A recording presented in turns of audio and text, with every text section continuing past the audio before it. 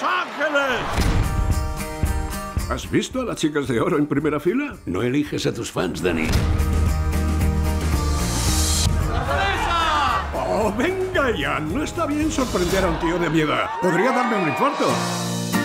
¿Recuerdas aquella entrevista que diste cuando eras un crío para la revista Chime? Compones como Lennon, tío. John Lennon la leyó y te escribió una carta en 1971. ¿No es increíble?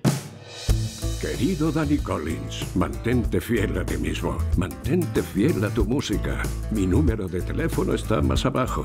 Podemos hablar de ello. Soy patético. Llevo 30 años sin componer una canción. ¿Te está dando un bajón? Ya estoy abajo, no puedo caer más. ¿Qué habría pasado si hubiese recibido esa carta a tiempo? Cancelaré el resto de la gira. Necesito un avión a Nueva Jersey. ¡Oh! ¡Bienvenido al Hilton! Mira quién es. Ya veo. ¿Va a quedarse indefinidamente? Aquí está colocado. ¿Ahora o en general? Ahora. No. ¿Cenamos? ¿Me está invitando a cenar? Eso creo. Pues me temo que no. ¿No es usted fan? ¿Ahora o en general? En general. No. Pero tenemos buen rollo. ¿Por qué Nueva Jersey? Porque tengo una cita. ¿Qué tal? Pues, pues algo ridículo. No. Nos vemos a las 7. No, ¿qué va? ¿Crees que será fácil reencontrarte con tu hijo después de tanto tiempo?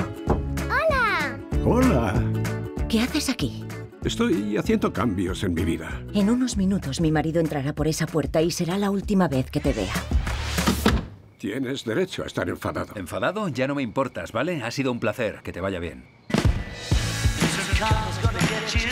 La familia es complicada, pero no debes rendirte. Coincido. Cenamos mañana. Buenas noches, Dani. Llevo mucho tiempo sin componer. ¿Estás nervioso? Sí. Me encanta. Me he pasado toda la vida intentando convertirme en el hombre que tú no eres. No sé qué decir. No necesito que digas nada, joder. Necesito que te vayas. Pues vas a tener que asumirlo porque estoy aquí.